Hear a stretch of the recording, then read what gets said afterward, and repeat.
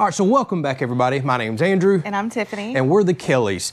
So I have been promising a series of videos that's going to eventually lead up to us finishing our home. And one popular question that I see on a lot of the forums all the time for people that are building houses is, hey, we're going to looking at living in a camper full time any tips, tricks, or thoughts. So that's what this video is going to be about. We just got done living in this particular camper along with another one. There's a story there for almost three years. We've been full-time living in it while we develop our property here and build our house. So we've just got the CO and okay to move in that house. We've been unpacking this thing and moving out and we've experienced a, a lot along the way. Some good mm-hmm. things, some bad things, and some good information to share. So if you're interested in living in a camper full time, you may want to watch this video. You may want to grab a pen and paper. I'm going to let you know some of the legalities of it, some things that I've learned there. Again, tips, tricks, things that we liked, things that we didn't like, and things that really kept us from, well, getting a divorce. living in a camper full time can be quite challenging. And there's some things that we did here that I think really helped us out. So we're going to share what that was. All right, so for starters, this is a 32 foot camper, pull behind camper here. We bought it simply because it was big, it had room, and the price was very affordable. We used to have another one that was almost identical to this, but Mother Nature and a tornado decided, well, we should no longer own that camper, and it was totaled. So we turned right around and bought this one with a very similar layout. So a lot of our viewers have never seen inside. Now that it's not junked up and it's unpacked, we will uh, show this off here real quick. Nothing fancy at all about this camper. Again, mainly the price was awesome. So for starters, coming up into this camper, it has a queen size bedroom and sleeper right here with a little wardrobe area. We actually took this mattress out, put down some plywood, and we had a king size mattress in here. That was important. And one thing that really helped us out, we really do like a large bed. That made this a lot more tolerable. We also took that window out and put a window unit in there so we could sleep with the bedroom really cold. Those are things you may not need, but it really helped us out. So coming in here, it's just your standard camper layout. Nothing fancy, a little kitchenette, a deep slide here that did give us some seating room. We kind of use this as an office. I did some editing in here for our YouTube channel. And we had a little fold down bed. Um, you know, nothing, nothing fancy at all. Now coming into the world's smallest bathroom, mm-hmm. this is one thing that was so tiny and that we will never miss and something that we recommend y'all try to get larger in your camper. This is the style of the quad bunks in the back. Believe it or not, this was key for us and something we really enjoyed. We used this room as a walk-in closet. We did plastic bins everywhere, pull-out bins with socks and underwear and clothes. We also hung some clothes up uh, so we use this whole entire space as a closet and storage. That really, really did help us out. So feel free to speak up with anything you did or did not like, but one thing I can recommend just from personal experience, to me personally, the bathroom was the biggest constraint throughout this entire living process. Yeah, at least here I can hand you some toilet paper. you better, if you're going to live full time in a camper, you better be prepared to be very close to your partner. As in, she's not kidding. You may be in here eating, watching TV, and literally a couple of feet away is someone in a bathroom. Are you prepared for that? That well, actually, our other camper it was reversed. The couch was over there, the table was over here, so you'd actually be eating that did, while the person is in the bathroom. that did help a little. So I guess the first tip that we could give y'all is get as large of a camper as you can afford. Now, I will say me personally, I don't believe in going out and buying the latest and greatest and this big gigantic sixty or seventy thousand dollar fifth wheel. If you're planning on selling that down the road to build a house, you're throwing your money away. There's plenty of good used campers on the market. But if I had this all to do all over again, I would get something with a larger bathroom. That was just my biggest holdup to this camper. Mm -hmm. Now we made it. We appreciate the camper. It uh, more than paid for itself to provide us room and board and a roof over our head for the last several years. But get as big of a camper as you can because chances are you're going to be moving a lot of stuff in there. You may have children, pets, dogs. By the way, we had one dog live with us in this camper as well. So a big bathroom, plenty of storage. We really did like the bunk area for being yeah, our closet. Yeah, that was a lifesaver having all that back there for sure yep. to store all your stuff. So probably the next tip that I can give y'all is it's just going to be different for everybody. But I don't think we could have lived in this camper without us having an outbuilding, which I'm going to go show you that. We didn't actually use this camper for cooking and eating, although we did cook in here some. But the biggest thing for us, and I think what made this tolerable for so many years and for so long, was being able to escape this space. While we're not claustrophobic at all, staying cooped up in a camper day after day, week after week, month after month, that can get really old. Mm. I highly recommend if you're going to go to a piece of property and you're already planning on building an outbuilding, say like a pole barn like we have, or a shop, do that first, then be set up and ready for your camper. An outdoor living space, whether it's a seating area or an outside shop where you can go do some outside cooking, put a washer and dryer like we did, oh, yeah. and actually have real appliances. That's what made this truly doable, I think, for us. So we kind of use this as a place to come in and shower, just settle down for the night, maybe flip the TV on and sleep. That was about it. Other otherwise, we were outside of this camper the entire time, just so we weren't feeling claustrophobic. So let's go ahead and go over some of the legalities real quick. Then we'll take a walk outside and I'll show you some things that we've done that I highly recommend doing for the living and for setting our land up for this. So for starters, this is going to vary wildly depending on where you live. So you need to go to your local courthouse or annex and check all this information out. But if you want to live in a camper full time, there's some things that you really need to know. First of all, not every area is going to allow you to live in a camper full time. You're going to have to tread lightly on that subject. So if you want to move to a piece of property and you want this to be your permanent address, things are very complicated now ever since 9-11 due to national security reasons. I found all this out whenever we sold our home, went to move over here and transfer our address. I had to jump through some hoops, so to speak. So if you go to your local courthouse, there is an office called a GIS office. They're the ones that do your addressing, record search, um, all kinds of different things right there. So if you go talk to them and tell them that you want to put an address on this property and you don't have house plans or a home, they don't want to give you an address. Then you're kind of left in limbo. We didn't know how to transfer mail packages or nothing. So I found a way around that if you'll go down to your local tax collector's office, talk to them, explain to them what's going on. Hey, we don't have a home. We're going to live full time in a camper on our property. Here's what they can do they can actually send an appraiser out here who will look at this, treat this just like it's a mobile home, appraise the value of it, and if approved, they will give you what's called a real property permit or sticker that you stick on the outside. That's the same thing that you do on a trailer or a mobile home. So after you get that sticker, now you can go back to that GIS or addressing department and you can legally get an address here because, well, as far as they're concerned, this is now your permanent address. You have a permanent piece of property, you're paying your taxes on it. This camper just became real property. But what that also means is your camper is no longer roadworthy because now it's considered a permanent valued piece or a home piece of this property. So keep that in mind. If you want to live in this full time but want to constantly hit the road, you can't seem to have one or the other. There could be a loophole in a way around this. I'm not really sure. But this, I'm talking to people that want to full time live like we did, develop property, and actually build their home. And I'm finding out now that we're getting ready to sell our camper. I went and talked with the tax collector's office again. I do nothing. What you do then, whenever you get your home, you actually transfer your homestead or your homestead exemption, which is now on this area and this mobile home right here. You transfer that to your new home. Once you sell your camper to someone else and they go to the tax collector's office, they can put it back roadworthy. All they're doing is pulling a tag and registration just like you normally would whenever you buy something that's mobile. And apparently all that happens automatically from what I'm being told. So some tips for the camper. I strongly recommend you block and chock this camper everywhere that you can. I've already started taking some stuff out because we're getting it ready to sell. Put wheel chocks in. Put extra blocking back here. You can use extra jacks to go up to the frame here. Also something I recommend is to put earth augers, what they call like a mobile home anchor, down into the ground. And I just took it off today, but I had thick cable wrapped around frames and bumpers of this, and I had this anchor down everywhere.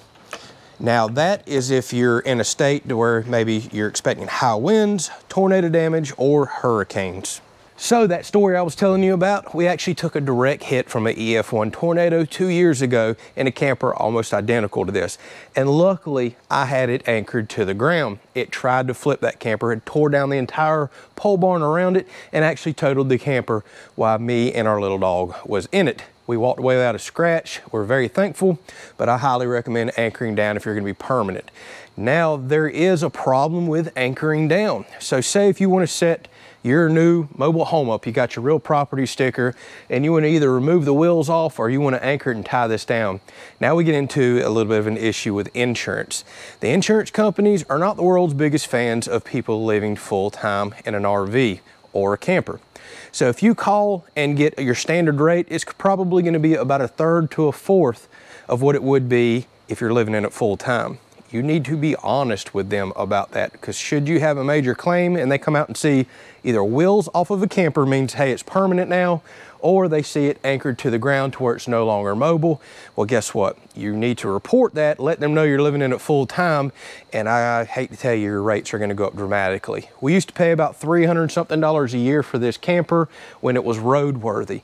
Once it became permanent, call and get that quote, well, it was a little over $1,000 a year. It's crazy how that changes, but be aware of that. I highly recommend anchoring your campers down. It literally may have saved my life, but that does change things with insurance. So these are some stabilizers that I got off of Amazon. They have a ratchet strap that pulls them together and really helps stabilize the camper. That makes all the difference in the world in a shaky camper when you're living with somebody else and you're trying to sleep on the other end and they're walking back and forth trying to get ready. I also had stabilizers underneath the slide out. So my tip is stabilize absolutely everything that you can. It really makes for more enjoyable experience on the inside. Something else that I recommend, especially if you're gonna leave an animal inside, if you're in a lightning state or have power outages, I purchased this automatic surge protector right here. So this is called the Power Defender and it's by Camco. And we've had this work several times. So say AC is running like it is right now and it's a hot summer day, you had to go to work and you've got a little dog inside. Well, if you were to have a power outage or lightning storm come through, um, this not only will surge protect, and if it trips off, it automatically powers itself back up. So now you get air conditioning and stuff going back for your animals in there. By the way, this is that permanent sticker that I was just telling you about that you can get for mobile homes, or this if you do make it permanent. So one other thing I recommend, if you know you're moving to a property full time and you're already planning on putting up a barn, do that ahead of time. Because if there's one thing I know about a camper, whether you buy one brand new, used, whatever it is, it's not if they will leak, but when they'll leak. Campers need lots of time and attention. They need to be sealed constantly. The roof needs to be sealed every few years go ahead and do yourself a favor and put it underneath a roof or structure if you can afford to do so. Go ahead and set yourself up financially, do that ahead of time. Not only does it keep the camper out of the sun, which is extremely destructive to all that lap joint compound and roofing, but campers are not insulated well keeping a roof overhead will keep that AC from running a lot. And this camper right here, that AC runs all the time. Actually, we have a relatively large electric bill. That camper, believe it or not, causes more of an electric bill than our new home does because it's just not very well insulated. So put a roof up. That is absolute key if you can do that. Leaving them outside, you're just asking for trouble. So septic, that is one large thing that a lot of people have a hard time figuring out whenever, well, they go to live full time on a piece of property. So there's two options that I can think of for you and depending on where you are, neither of them may be allowed or may work. So first and foremost is you can go ahead and put your full septic system in. If you know the size of the home that you're gonna build and you've got it sized correctly and your camper is gonna be somewhere near it, you can go ahead and put an actual septic system in and run your camper to it. That's not a problem. So whenever you first get a piece of property, you need to go have a soil and what's called a percolation test done. All that's done through the health department and someone that'll actually come out and take soil test samples, and then you can determine what size you're gonna put in. But they really need to go ahead and know the size of your home. My health department did not require house plans, but they needed me to go ahead and let them know the square footage of the home that we were gonna build. That determines your drain field size. That's a very expensive option, but if you're already building, you're gonna need a septic system anyways. But it may or may not work out depending on the location of your camper. So another option, this may not be allowed everywhere, but an option that I had here that worked out beautiful for us is what's called an above ground holding tank. So our local sanitation companies that do porta potties and tank pump outs, things like that, they actually sell these above ground holding tanks for RVs. We live near the coastline and it's not uncommon for a lot of RVs to be set out and need somewhere to dump. So what we do here and what I highly recommend Get a several hundred gallon above ground holding tank. Now you can dump your wastewater into this. Keep in mind, it's gonna fill up relatively quickly, so this can be a costly option too, but doesn't cost anywhere near what an actual septic system does. For example, this 300 gallon tank, depending on if you're doing black water, gray water, both, um, say Blackwater, for example, about every six weeks, I need to have this tank pumped. It costs me $55. I'll get on a route where there's a tanker truck that comes around pumping out porta potties, event potties, things like that, and they will also come by and pump this out. You leave them a check, it's pumped, it's ready to go. You just got to be prepared to plan about a week ahead of time to make sure that you don't fill this up and get caught in a situation to where the tank's full on the inside and on the outside.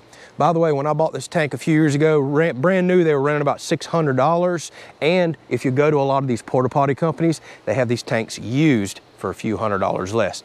I really don't know what things are running nowadays with all the COVID excuses.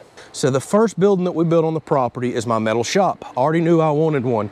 This is what I would say saved us more than just about anything. This was our outside space to escape to. So this is a room I'm built on the inside. Excuse the mess, but we're still packing up and moving.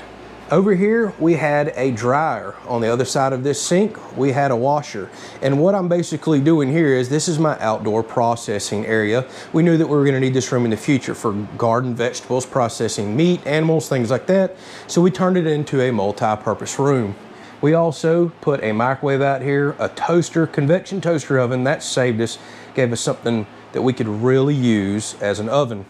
Full-size refrigerator and full-size freezer. Without a doubt, having that room in this building, I think is the main reason that Tiffany and I both can agree that we were able to live in that camper for so long. We didn't stay inside, we didn't get claustrophobic. We had a real space to come out here with real appliances. Ladies, I know being able to have a real washer and dryer makes all the difference in the world. Running back and forth to town or using a small camper all-in-one washer and dryer, that's probably gonna get old after a while. Now your results and situation may vary. We lived out here for a few years. If you're doing just a few months while a house is being built, that changes things dramatically. Plus everybody's tolerance is different. The other thing that really helped us, we had a Blackstone out here, a gas grill, charcoal grill. So this was our entertaining space. We cooked outside, we enjoyed it, and we really learned how to use a lot of these appliances uh, in lieu of a inside oven, which we no longer had. And again, that room, this space was key. So thanks to that camper right there, we were able to build this house. And as you can see, it's still a work in progress, but we have our CO, we've passed all safety and sanitation inspections, and we're currently living in the home. And if you're curious about well, living in a camper and building your own home, I have almost 200 videos on the channel of me building this house from scratch. And like I said, it's still a heck of a work in progress. We have a lot going on there. So feel free to check all the videos out on the channel. One other thing worth mentioning, that a camper really helps you out with, you need some sort of an excuse on a new piece of property in order to put power in, what you call temporary power. Typically, you can only run a 100 amp service, which is more than enough for a camper, but if you already know you're gonna build a house, you need a temporary power pole anyways. So you can use that camper as an excuse or a pump and well, things like that, to go up there and pull your temporary power permit. Mine was registered as an RV site or a campsite, and that made the power process nice and simple. I'm sure there's still many more questions that y'all may have out there, but I wanted to hit on some of that, especially the legalities of it and how to go process things at the courthouse, because I just don't see a whole lot of people talking about that on living in camper full-time types of videos. If you have any other questions, that's what the comment section's for. Drop a comment. I'll do the best that I can to answer that for you. And please keep in mind, local jurisdictions change constantly, state rules change. Some of the things I mentioned today may not be allowed in your area. That's why you need to go to your local offices and ask that. Catch you on the next video.